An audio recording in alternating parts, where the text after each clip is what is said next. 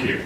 I would like to first thank the uh, wonderful people at the IEEE Magnetic Society for both giving me the opportunity to be one of these wonderful ladies and gentlemen who deliver the distinguished lecture uh, this year as well as some of the lectures in the past few years. I would also like to especially thank Dario and Vincent for organizing this school. I understand it's uh, we currently really spent more than eight months working on that. It's a huge amount of work. So on behalf of everybody who enjoyed the school, I should thank you very much. Um, the topic I'm going to introduce to you today is what I call as cavity spintronics. Uh, there are different names for that. Some people, my colleagues, call it spin cavitronics, and some people call it cavity magnonics. Uh, the reason that the name is not yet settled is because this is really a rising field which is formed a few years ago and it is growing rapidly. So before I go to my talk, let me first be showing you those are the wonderful students and the postdocs working in my group in Winnipeg in Canada. And one of them, Jinwei Rao, he is actually in the audience and he has a, a poster there related with some topics that I'm going to talking here. On Thursday night, you also very welcome to go to his post to see more details. Um, if you don't know uh, University of Manitoba, probably chances are good that you have read one of these wonderful textbooks. And it looks like in my department there is a good tradition that before professors retire, they spend the time to write a good textbook.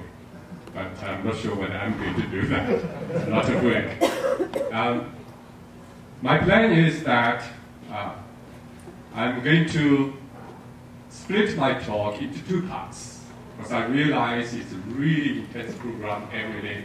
Seven hours of lectures is a lot.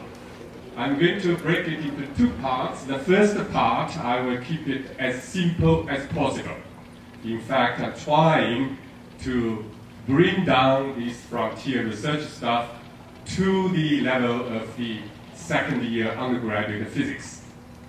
That's my plan. I'm going to introduce you this quasi-particle, which plays the central role in this new field of cavity spintronics, using that to tell you what is cavity spintronics.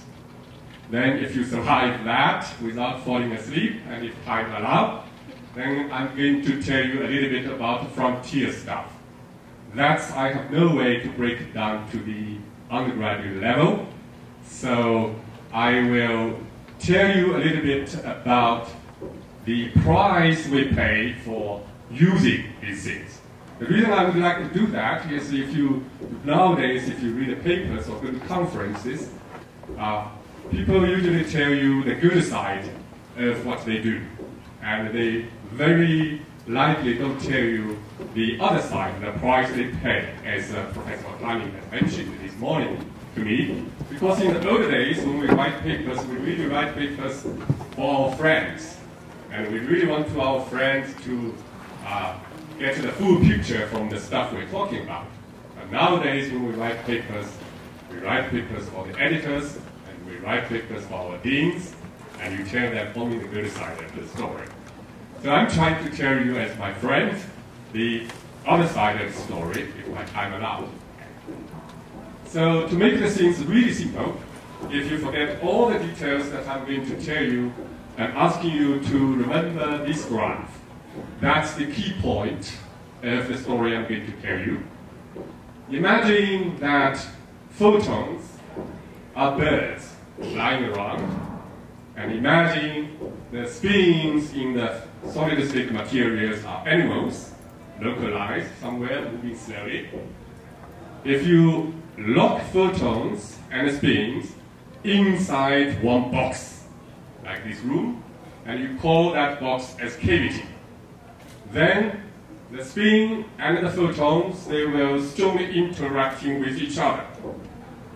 And the consequence of the interacting is that they're going to produce a hybrid beast which we call cavity magnon polariton. this hybrid beast is no longer spin, no longer photons, but in fact, it keeps the characteristic of both species. And because of that, because of its hybridization nature, this species can talk to, this beast can talk to both species, make it a very effective communicator, or in scientific language, transducer. That is why this quasi-particle, after was discovered a few years ago, becomes very interesting for many people. Many people from different community come and feed this beast. And in fact, that's the reason why it grows very fast. And for the students of this school, if you win these your student projects, if you are interested to come to my lab to feed this beast, you are very welcome to do so. So that's the key story. And that beast is actually created by using cavity techniques. Cavity techniques is not a new technique. In fact, it is old techniques that has been used in many, many different fields. The most famous one is that these two gentlemen applied cavity techniques to study atomic physics. And using that, they actually received the 2012 Nobel Prize. And some of the people in the audience, they working in the field, which is 20 years old now, still very active, where people using cavity techniques combined with mechanical oscillator. And in that field, there are a lot of interesting physics coming out, very many useful techniques for uh, quantum information. Speak about quantum information, some of you probably know this iconic uh, device made by Yale Group, where they're using cavity technique, planetary microwave cavity, coupling with qubit. And that is still nowadays one of the uh, most useful techniques to do quantum information and quantum computing physics. Cavity spintronics is relatively new, and basically what people do in this new field is they try to combine cavity techniques with collective spin excitations. Instead of single spin, we're dealing here a system with magnetic material where you have magnons, which means you have many, many spins coherently perform the dynamics. Now, let me begin the story really from the early time. As I told you, people have been using cavity techniques to study atomic physics. In the simplest picture, if you have a single atom, you treat it as a two-level system, then it is essentially a single spin. A single spin is a two-level system you can describe using a Pauling's matrix. And if you have cavity uh, photons, you can treat it to the system as if you have harmonic oscillators for the photon states. If these two systems are coupled together, then there is a quantity which people call as the Rabi frequency, describes the strength of coupling of the single spin or single atoms with the photons in cavities. The point is that if you want to introduce something really useful induced by this kind of coupling, you want to have the coupling strength as large as possible, or the Rabi frequency as high as possible. But at the single atom or single spin level, the Rabi frequency is actually quite low. It is at an order of one hertz. Of course, you don't talk about the coupling strength itself, you have to compare it with something. And this something here is you have to compare it with the decay rate of your single spin system and your photon spin system. When you're doing that, you're using a different quantity, which is called the cooperativity. Cooperativity is a dimensionless uh, quantity, which is defined as coupling strength squared, divided by the product of the two decay rates. To achieve a system with strong coupling, you want to have a situation that the cooperativity is much larger than 1, which means the states can oscillate between the two species for many rounds, before it is decayed. But to reach that for a single spin or single atom system is very difficult because normally in nature, the cooperativity we have for the single spin system coupling with photon is at the order of one. Within one cycle of oscillation, the system has large probability get already decayed. So several years ago, Prophet said, maybe we should not using a single spin system. We should try with many spin systems. And the idea, one of the ideas is that if we have ferromagnetic material, then we are intrinsically dealing with a system we have large number of spins locked together by their exchange interaction. And in that system, we are dealing with the collective spin excitation, which we call as magnons, quanta of the spin waves. So the question was, what happens if we let magnons, instead of single spin, couple to the photons? And their Prophet wrote paper for PRL. The theoretical prediction from the calculation says, at the year 2010, that the coupling terms, Rabi frequency, in such a system can be so high, raising from 1 hertz up to the order of terahertz. That's a huge jump of the coupling strength because you are dealing with a huge number of spins. Immediately it caused a lot of interests. Many groups try to test that experimentally. And the first group demonstrated that effect was my friend Hans Huebl at TU Munich. And he and his colleagues showing that at the very low temperature, 50 millikelvin, if you put YIG, material, where you have many, many spins with low damping, you put this material inside a microwave cavity, indeed you can causing this collectivist spin system coupled with the cavity photon. And the difference is that because you are dealing with the collective spin operators, the Rabi frequency of this coupling system is significantly enhanced compared with the Rabi frequency of single spin. And the enhanced factor is actually proportional to the square root of the number of spins. Because the number of spins in YIG, if you have sizable samples, say millimeter size of samples, the number is huge, and that is why the Rabi frequency, the coupling strength of that system, is indeed significantly enhanced compared with the single spin system. Not terahertz, but 100 megahertz is a very large number. And that is why immediately people get very much interested in these coupling systems.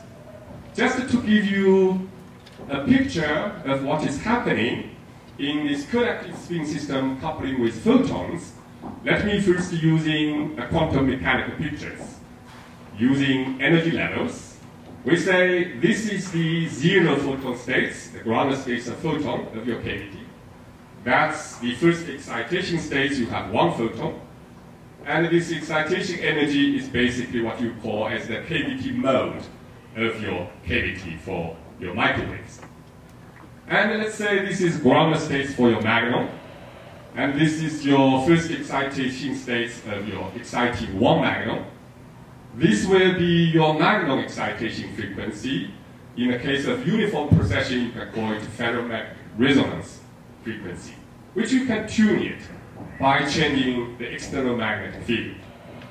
Now, if these two systems are coupled, then you will no longer have independent single photon excitation and a single magnon excitation.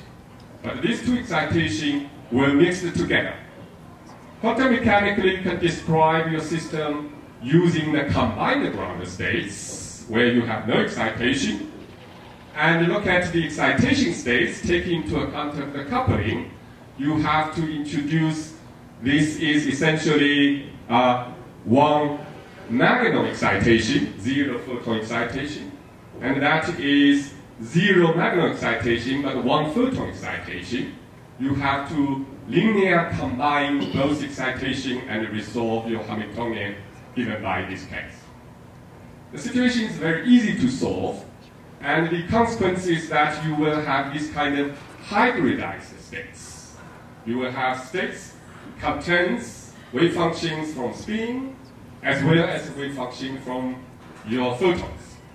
Then you can have these two branch of transitions. If you're changing your external magnetic field, the cavity frequency is independent of your magnetic field, but your magnetic frequency depends on the magnetic field you apply. In a case when the magnetic frequency touches the cavity frequency, these two dispersions will no longer simply crossing with each other because there is coupling.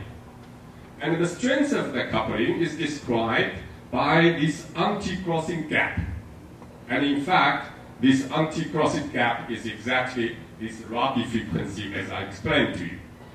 As you can easily see, this is the order of gigahertz. That means this is order of 100 megahertz. Very large splitting is observable in this kind of spectroscopic measurement in these coupled systems. Now, that is a quantum mechanics You can imagine from the undergraduate physics course that if we're moving from a single spin system to a many spin systems, this correspondence principle should work. That means this kind of coupling phenomena in a many spin system probably also have a classical interpretation. And that is indeed true. So in the following, I'm going to give you this very simple classical picture at the level of the second year undergraduate course. The simplest way, classically, to describe a microwave cavity is that you imagine there is a microwave current flowing in this microwave cavity. And to describe the microwave current, you can using these very simple LCR equations, which describes any equivalent microwave circuit. And if you solve that equation for your cavity systems, what you will find is that you will have a so-called cavity mode. The mode of frequency is determined by the equivalent uh, inductance and the capacitance of this equivalent circuit. And of course, you always have certain damping, which is described by this equivalent resistance of your circuit. That determines the so-called Q factor, or the line width of your cavity map. That's very simple to solve. Essentially, you have a result with a Lorentz type of line factor, uh, shape. Now, magnons, oh before I go to magnons, I should mention one point Professor Azuela already mentioned very nicely in his talk, lectures. There is an law, which tells us if you have a microwave current, there would be a microwave magnetic field associated with the microwave current. And these two quantities are phase coherent. That's the key point of the Ampère law. In other words, the phase of your microwave magnetic field is determined by the phase of microwave current. Keep that in mind. Then let's look at the magnons. In the case of magnons, this community, everybody knows how to solve the problem. You just write down Landau-Lifshitz equation. And in the case that the precessional motion is not so strong, you treat it as if you have linear dynamics, then the Landau-Lifshitz equation goes down essentially to an oscillating equation. And you can solve it to get your magnon modes or ferromagnetic resonance modes determined by the resonance. It has certain damping, which we call as Gilbert damping, determines the line width. It's like a classical oscillator, essentially. It's kind of semi-classical treatment of the quantum phenomena of magnetism. Now here, there is also a very important classical effect that we have to keep in mind. That is, if you have these spins doing precessional motion, it means that the angular momentum is changing with time. And we have learned if the angular momentum is changing time, Faraday's law tells us that is going to produce a changing voltage. Because spin is processing at the gigahertz at frequencies, the voltage you induce is also at the gigahertz frequency. Now this is important if you put this kind of sample inside the cavity where you have ACI circuit driven by microwave voltage. So you can imagine if you put these two systems together, you will have on the one hand this microwave current through the Ampere's law produce a microwave magnetic field, drive the spin dynamics. That's basically what we do when we're doing FMR experiment. Many of you are doing that. The difference is that in cavity, particularly in high quality cavity, the density of states of the cavity mode is very sharp. The Q is very small. Therefore, this cavity states is very sensitive to any backaction coming from the spin dynamics. That is something we usually ignore in fMRI experiment. If you take into account that backaction, then you have the dynamic of the spin current is also going to impact of the dynamic of your microwaves. So that you have a coupled system. Mathematically, it is very easy to describe because you just need to write down again in a different forms your LCR circuit equation, your LLG magnetron equation. Normally they are independent, but now, because of this action and back action, these two equations are coupled together. So the physics is very similar like two harmonic oscillators coupled together, which is very easy to solve mathematically. If you solve that, you will find that your microwave magnetic field and the spin dynamics in this coupled system, they are no longer independent quantities. Because of this coupling, these quantities will phase coherently locked together to give you the so-called eigenmodes, like that. You just put a piece of YIG samples into microwave cavity, sending microwave measuring the transmissions. And the cavity mode is not changing with magnetic field, but the magnetic mode is changing when you tuning your external magnetic field. So eventually you can have this crossing people call as detuning equals to zero condition, where due to the coupling, you can measure in this anti-crossing, and the Rabi frequency is at the order of 100 megahertz. And this is experiment actually we did at room temperature. Why this effect is so so strong at room temperature is exactly because correspondence theorem tells us the same phenomena can be interpreted classically using the picture of electrical magnetic coupling picture as I just you. So that makes the system very interesting because now we are producing a very good bridge, which means coherent link, phase coherent link, between photon dynamics, microwave dynamics, and spin dynamics. This bridge, because the cooperativity, the Rabi frequency is so large, it is a very, very good bridge, not so easy to get disturbed by dissipation. And that is why it makes the system very, very useful, this quasi-particle very useful. And in fact, depending on the community, people have been using each of the species for many applications. Now, because of this new grid, you can produce many different combinations of links. And that is essentially what people in this community, in this new community, have been doing in the past few years. One of the famous work is that, as I mentioned in the introduction, qubit can be coupled to the microwave resonator. That's how people in the quantum community, quantum computation community, uh, operate in a qubit. Now you have a new link, which links the microwave resonator with the spin system. So scientists at Tokyo University, Chika's colleagues, demonstrated that you can, using this method, transfer the quantum states information from a qubit first to the microwave resonator and then to the spin system. very exciting work and opens up a lot of possibilities. People have also been doing works connecting the ferromagnetic system with visible light photons, Kerr effect, Faraday rotation, and all those things. Now you have a new link of this uh, strong coupling between microwave photon and the spins.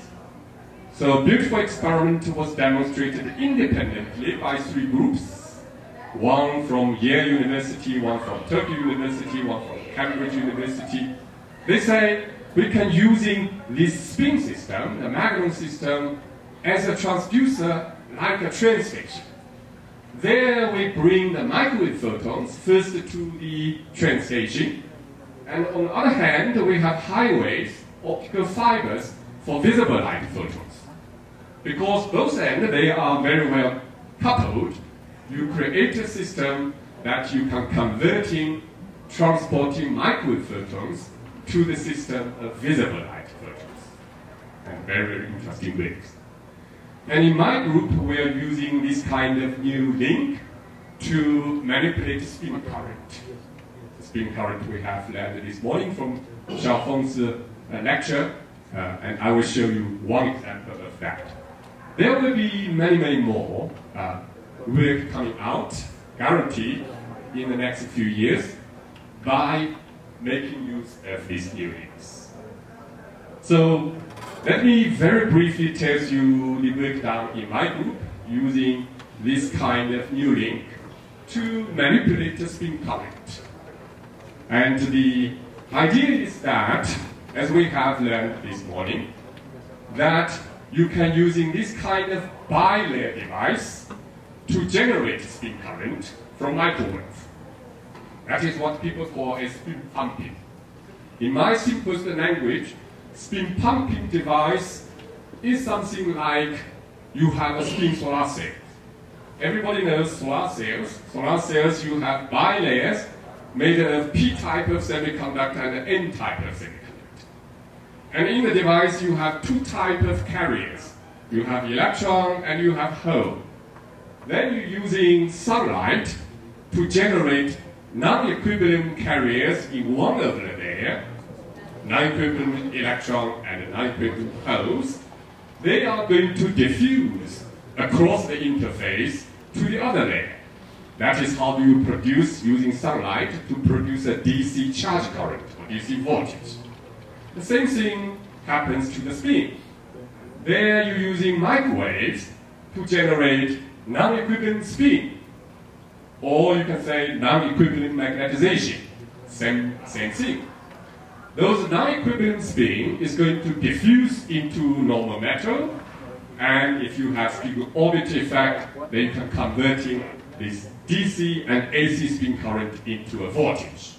So essentially, spin pumping device is a spin solar cells that many of you actually using that in your own labs. Now the experiment we have done is that now we say the microwave can be used not only for generating non-equivalent spins, but they can also be used to phase coherently linking different spin solar cells. To demonstrate that, that we made two spin solar cells and put them inside of the same microwave cavity. Now you can immediately imagine the spin dynamics in one spin solar cell will be coupled to the microwave field due to this beast. And the same microwave field is going to face coherently coupling with the spin dynamics of the second solar cell. And that introduces a coherent link between these two spin solar cells, even if you put them far away, so that between them there is no direct interaction. And in that way, you can use a microwave, like Wi-Fi, in which if you control the spin current in one device, this Wi-Fi will work to tune in the spin current of the other device because of the link. And the experiment is demonstrated by putting two spin solar cells, one at the front, one at the bottom of the same cavity, separating them at the distance of centimeter so that there is no direct, direct interaction at all. And you can see if you locally measuring spin current of one device, you find a way to control it. Detail I ignore. If you control your spin current in this way, and you measuring the spin current of the second device, you see that the spin current of the second device is remotely controlled by the spin device because of the link which I you. So that's one example that using this quasi-particle, now you actually can using spin current to almost switching on and off the spin current in the distance because they are coherently linked. So that's the first part. Uh, to summarize the first part, let me tell you what is the cavity spintronics. Essentially, in the physical systems, we're using many, many different interesting systems which have different dynamics. For example, we can have optical cavity, where you have optical dynamics happening at the frequency of optical frequency, the coherent time of that device system is relatively low. You can have atomic system where the coherent time for those dynamic process is better, still operating at the optical frequency. And you can have optical fiber, the coherent time is even better. Or at the frequency of microwave, you have superconducting qubit systems, you have microwave cavity and resonator, you have collective spin system from ferromagnetic materials, and at the radio frequency system, you have mechanical oscillator, or you have nuclear spin systems. All those systems are very interesting, and people understand that particularly for quantum applications, none of the single system will be good enough. You have to find a way to coherently linking those systems together to give you the desired application or functions. So cavity spintronics is very much focused on the strong coupling, coherent link between microwave resonator and the many-body spin systems. And this coherent link this strong coupling is going to produce this hybrid beast. Already, experiment has demonstrated that this hybrid beast can communicate very effectively with many other systems, and that is why not only people from magnetism interested in that, really people from all of those other communities getting more and more interested in this new field. That's the first part. Now I'm going to turn to the second part, which I'm afraid is a little bit hard stuff, which I have difficulty to make it simpler. But let me just uh, tell you, you should not be scared by any technical details that I cannot explain very clearly. And for good reason, not because I say that. In fact, on the way here, on airplane, I took a book which Xiaofeng recommended to me to read, written by Neil Cooper. Obviously, everybody know Cooper pair. That's the guy who invented the Cooper pair and got a Nobel Prize for that. And he wrote a book which is not really about physics, but more generally about science and how to teach science. And there is a one opinion that both Xiaofeng and I like very much, and that is, he was talking to teachers, but I think it is also good advice for students. What he said is that science must be taught for the teachers, which I changed that to learn, that's my way, with emphasis on logic and structure, rather than as a collection of facts, those technical details that deliver the current scientific worldview. Essentially, if you translate in a simple language, it means if you don't understand the technical details, that the wonderful lecturer telling you, don't worry about it. You have the slides. Just pay attention to the logic that they're trying to take. Now, if you're using that perspective to look at the first part of talk, which I told you, you actually realize that there is a bad logic here in the new field of cavity spintronics. Because we all know the message of this guy. He basically tells us the direction of science, with all professors writing grants, usually starting from his idea, saying we should go to matter, we should go to quantum systems. But you realize the logic of this cavity spintronic is the opposite. We are coming from the single spin system back to the many-body macroscopic spin systems. For good reason, as I told you in the first part, because your Rabi frequency is enhanced by many order of magnitude. That's why we do that against this good logic that he was teaching us. Now when you do that, you of course pay a price. The price you pay, is a little bit technical, is that if you have a single spin system, you just bring in one photon, then this single spin system is got excited to the, the excited states. Bringing second photon, there's nowhere it can go in the energy ladder. Experts say the system is saturated. And because of that, you will find, and people know very well, that the Rabi frequency of that single spin system is actually proportional to the number of the spin you gave to that system. Because adding spin to that will not bring the spin system to the high energy level, but force the spin oscillating much faster between the spin states and the photon states. That is because you have nonlinear dynamics of a failure.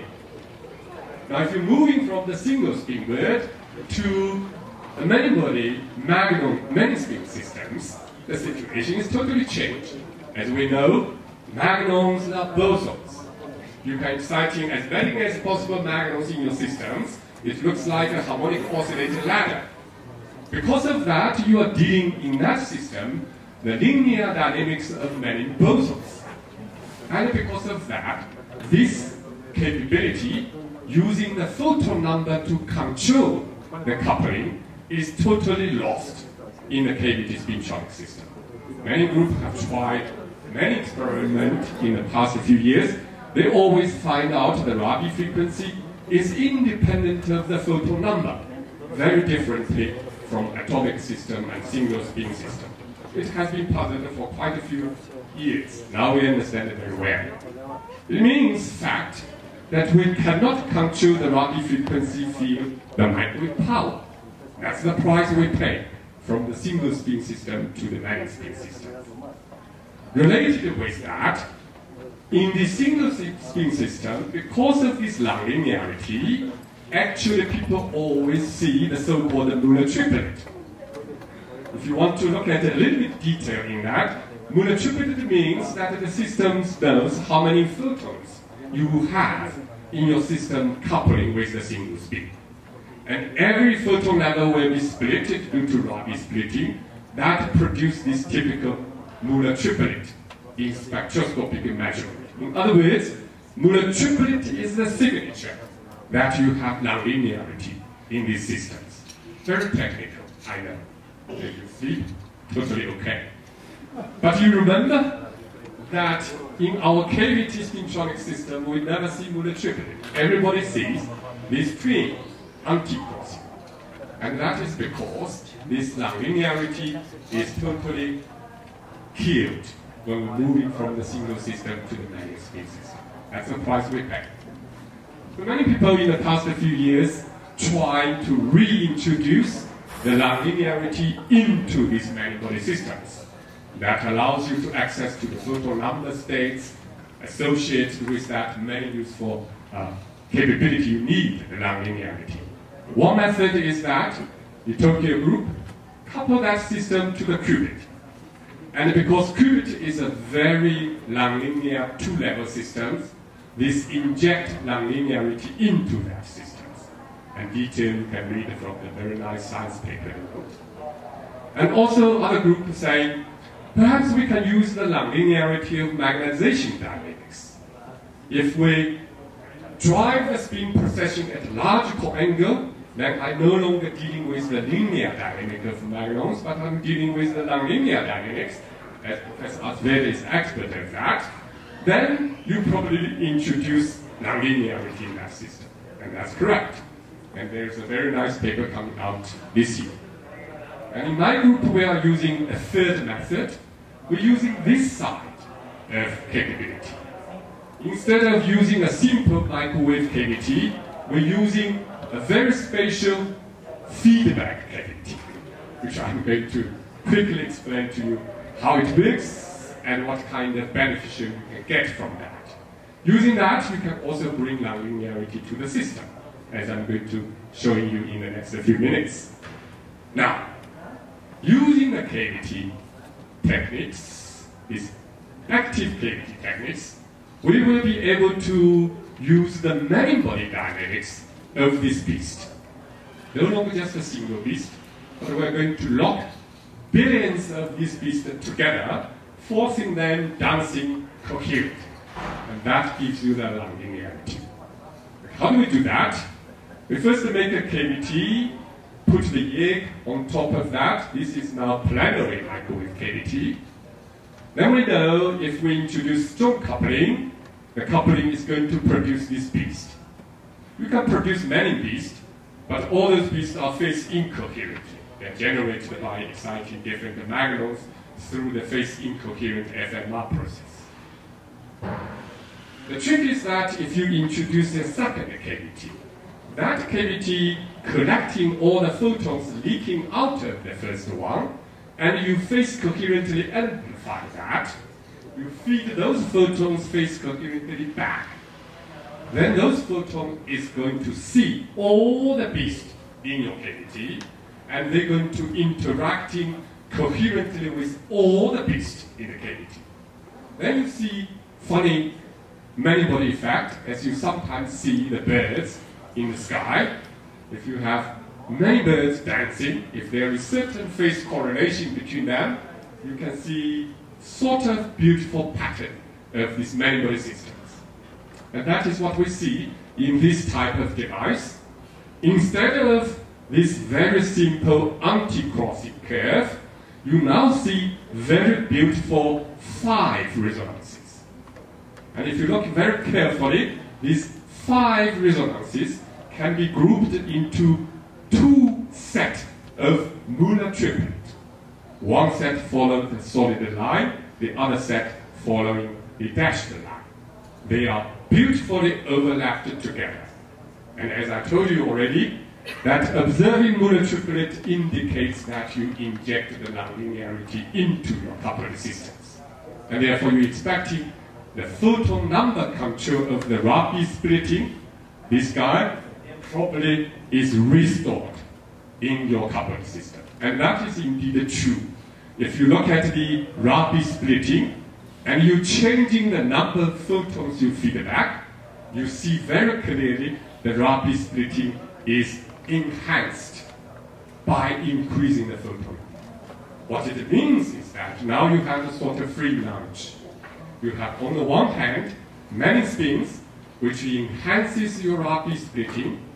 On the other hand, the nonlinearity is still reserved in that feedback technique so that you can still using the photon number to control the coupling or reversely using this coupling physics to detecting photon number states and making a lot of use of that. So what happens here? Forget all those technical details, the facts. What's the logic here? Well, the logic is that we all know the logic told by uh, this gentleman going quantum. But in solid-state physics, there is actually another powerful logic or path. And that powerful logic is very well written by a science paper uh, of Anderson, P. Anderson. And there, the key message is that in the many-body systems, because of the complexity of many-body systems, there are actually a lot of surprising physics, new physics can emerge. And that is the second logic actually we are using here. So these are the details of why you can have those two sets of Mollow triplet. But I just skipped that. The key message is that if you're using this kind of idea, you can construct a Hamiltonian. From the Hamiltonian, you can calculate the dispersion, and the calculation agrees with the experiment perfectly well, so that you can believe me. Take-home message the second part is, I hope I told you that indeed, as Anderson told us, more is different. Not just going to the quantum world is a good path, but going to the many-body system is also equivalent, very powerful path. And essentially the first part I told you is that more spin is better than a single spin.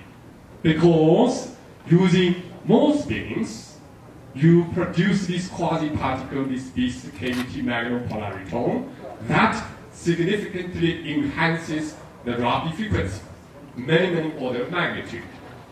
And in the second part of my lecture, I'm trying to tell you that more of this beast is better than a single beast. Using these feedback techniques, you can actually even reinstall the so-called nonlinearity in these many spin systems, which was very difficult to do in the past few years. And with that, I'm coming back to the summary of the two parts. I hope I convinced you that in this new field of the cavity spintronics, at least there are two passes. In fact, there are many, many passes. The nice thing about this field is that it's a new field. Therefore, it's not crowded. When you're doing experiments there, you are not competing with any of your colleagues. You can choose the effect that you like to do, do it very peacefully, quietly, and write papers for your friend instead of rushing write papers for editors or your deans. That's really nice thing of this new field. And using that, you can produce this beast, and you can produce billions of these beasts together and make many new